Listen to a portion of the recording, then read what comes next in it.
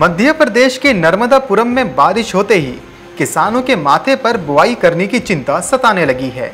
इस बार किसानों को सोयाबीन के बीज पर दो हज़ार रुपए की छूट मिल रही है। बारिश के बाद कई किसान खरीफ की फ़सल सोयाबीन की बुआई का इंतज़ार कर रहे हैं।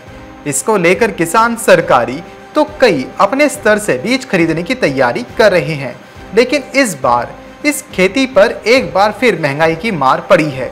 दरअसल, शासन ने बीज निगम के ज़रिए बीजों के रेट बढ़ा दिए हैं, जो सोयाबीन बीज पिछले साल पिछहत्तर सौ रुपये क्विंटल में था, वह बढ़कर इस वर्ष दस हज़ार एक सौ रुपये क्विंटल पहुँच गया। हालाँकि किसानों को दो हज़ार रुपये अनुदान भी दिया जाएगा।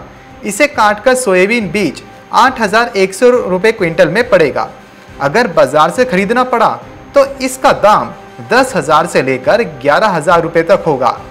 नर्मदापुरम ज़िले में बारिश के बाद किसानों ने धान की रोपाई शुरू कर दी है। कहीं कहीं पर सोयाबीन भी बुआई होने लगी है, लेकिन बीज के दाम बढ़ने से किसानों में रोष भी है। ज़िले में बीज की भारी किल्लत है। बाज़ार में सोयाबीन बीज सात हज़ार रुपये क्विंटल में मिल रहा है।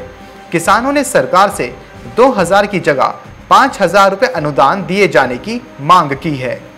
बीज निगम ने खरीफ फ़सलों के बीजों के जो दाम जारी किए हैं इसमें 15 वर्ष तक की अवधि वाला बीज दस हज़ार एक सौ रुपये प्रति क्विंटल हो गया। इसमें दो हज़ार रुपये अनुदान घटाने पर आठ हज़ार एक सौ रुपये क्विंटल मिल के दर पर मिलेगा, जबकि पिछले साल इसके दाम पिछहत्तर सौ रुपये प्रति क्विंटल थे। इसमें छब्बीस सौ रुपये क्विंटल की बढ़ोतरी हुई है। Report, Market Times TV.